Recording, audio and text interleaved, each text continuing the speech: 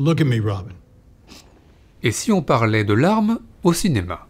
Car des larmes, il en coule beaucoup dans les films, en ouverture de The Congress d'Harry Follman, ou en clôture du Bleu de Christophe Kieslowski, des larmes en solitaire dans The Yards, ou des larmes en collectif dans Twin Peaks, des larmes en plan large dans Le Garçu, ou en plan serré dans Sailor et Lula, des larmes abondantes dans La vie d'Adèle, très abondantes dans Will Hunting, ou très très abondantes dans Alice au Pays des Merveilles, bref des larmes au cinéma comme s'il en pleuvait, de quoi bien évidemment faire un petit point sur la question. Alors tout d'abord, on pleure pour diverses raisons au cinéma, de chagrin et de tristesse bien sûr, comme Emily Watson dans Breaking the Waves, mais on pleure également de joie et de soulagement, comme Robert De Niro dans Mission. Enfin, il y a également les larmes de douleur et de rage, comme celles versées par Denzel Washington, fouetté tout jeune dans Glory. Mais encore. Et bien évidemment, certains genres sont intimement liés aux larmes, à commencer par le mélodrame, dont Douglas Sirk est l'un des maîtres, et Mirage de la vie, l'un de ses films les plus représentatifs. Mais il y a tout aussi Lacrymal, le film d'horreur, et ses nombreux pleurs de panique, par exemple dans le projet Blair Witch. Mais encore, eh bien les larmes au cinéma sont parfois colorées, elles sont notamment rouges dans Frayeur de Lucio Fulci, mais aussi noires dans Esther, ou encore blanches dans La Polonide de Bertrand Bonello. Et puis il y a les larmes bleues de Linda Hardy dans Immortel d'Inki Bilal, et les larmes bleues, elles aussi, de Xavier Dolan dans Les Amants imaginaires, rythmées par les suites pour violoncelle de Bach. Mais quoi d'autre? Eh bien la musique, justement. On verse souvent des larmes en chantant au cinéma, notamment Isabelle Huppert dans Huit femmes, ou Marisa Paredes dans Talon aiguille.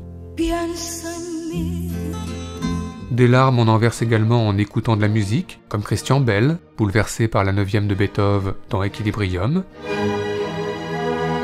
Sans oublier Julia Roberts, sous les yeux de Richard Gere à l'opéra dans Pretty Woman.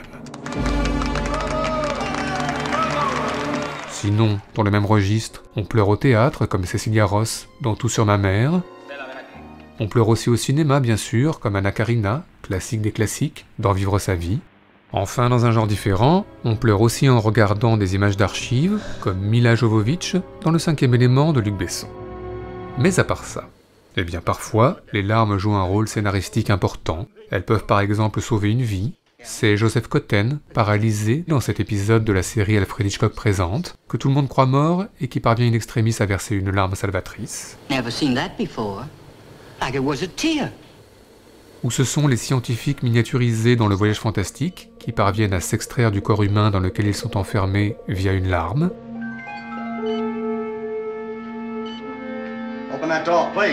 Enfin, n'oublions pas les personnages pleurant fréquemment, comme The Crying Freeman versant des larmes dès qu'il tue, ou comme Paul Adelstein, acolyte de George Clooney dans Intolérable cruauté, pleurant à chaque mariage ou enfin Pierre Richard dans Les Compères, qui se remet visiblement difficilement de sa dépression. Vraiment qu'il d'essence? C'est pas grave, on va dans une station-service. Bref, si on ajoute le monologue de Rutger Hauer sur les larmes dans Blade Runner, those moments will be lost in time. Et le monologue de Françoise Lebrun, entrecoupé de sanglots dans La Maman et la Putain. Oh, si vous saviez comme je peux vous aimer tous les deux comme ça peut être indépendant d'une histoire de cul. Sans oublier les larmes qui coulent sur le maquillage de Claude Jade dans Domicile conjugal et celle qu'essuie Nathalie Portman dans Black Swan, on peut dire que tout le monde, au cinéma, pleure, même les adolescents rebelles comme Johnny Depp dans Cry Baby, même Michael Fassbender en sex addict dans Shame, même les soldats aguerris revenus du front dans Les Sentiers de la Gloire, même Jack Bauer, même Rambo, et même Dumbo, consolé par sa mère dans Dumbo. Tout cela nous a donc donné, comme d'habitude, des envies de classement. C'est donc parti pour notre traditionnel top 5 subjectif, celui des plus belles larmes de l'histoire du cinéma, en tous les cas pour nous.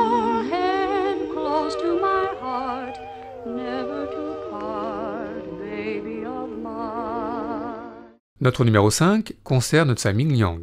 Dans Vive l'amour, le cinéaste taïwanais a filmé peut-être les plus longues larmes jamais versées au cinéma, dans Visage, quelques années plus tard, il a filmé la larme peut-être la plus longue à finalement couler sur le visage d'un personnage. Voici, parce qu'on est comme ça, les deux scènes réunies en une seule.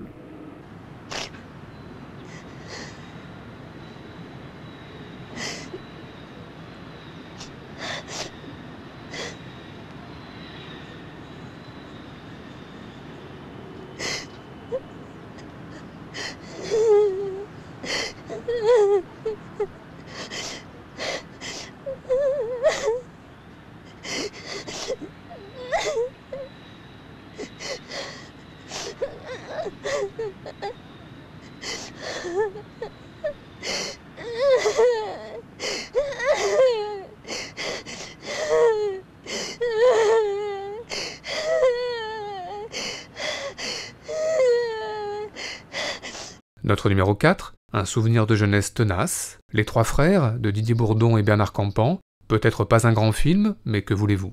Difficile de relire Le Petit Prince aujourd'hui sans penser à cette scène. Ah, pardon, fit le Petit Prince. Qu'est-ce que signifie apprivoiser? C'est une chose trop oubliée, dit le renard. Ça signifie créer des liens. Créer des liens? Bien sûr, dit le renard. Tu n'es encore pour moi qu'un petit garçon tout semblable à cent mille petits garçons. Et je n'ai pas besoin de toi et tu n'as pas besoin de moi non plus. Je ne suis pour toi qu'un renard semblable à cent mille renards.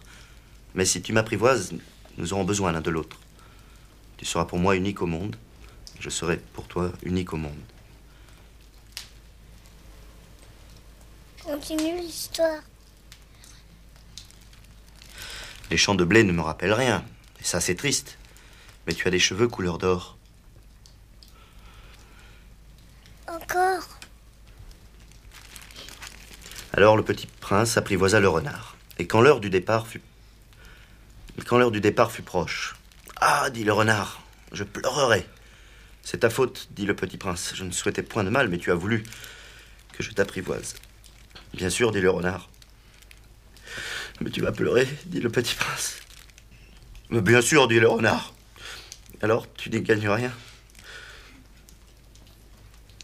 J'y gagne, dit le renard cause de la couleur du blé.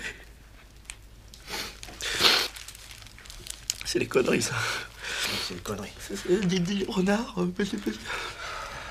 Notre numéro 3, de nombreuses créatures fantastiques pleurent au cinéma, les vampires comme Gary Oldman dans Dracula, les créatures prométhéennes comme Robert De Niro dans Frankenstein, sans oublier la mort, sous les traits de Maria Casares dans Orphée, et puis il y a les fantômes dans Les Innocents de Jack Layton, et la larme comme preuve tangible de leur existence.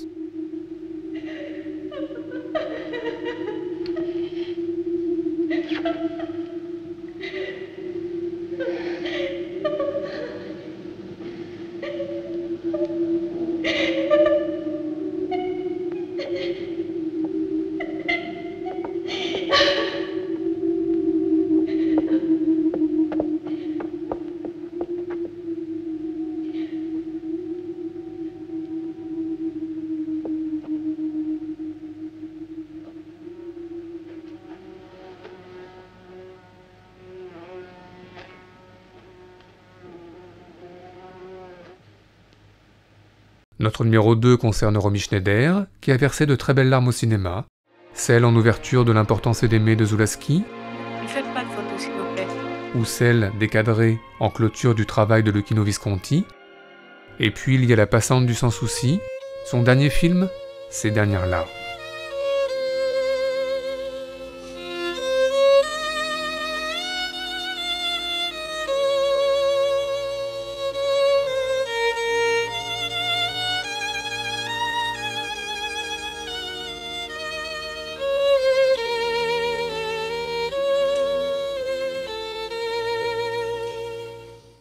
Enfin, terminons par le commencement, les larmes du kid et du vagabond dans le film de Chaplin, comme pour beaucoup, nos premières larmes jamais versées au cinéma, tout simplement.